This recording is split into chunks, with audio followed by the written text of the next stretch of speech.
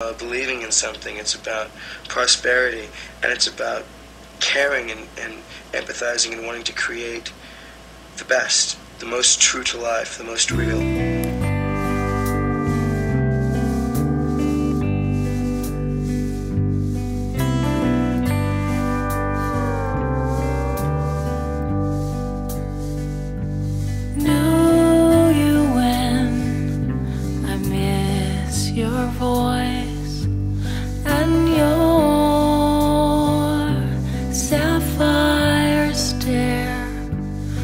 I can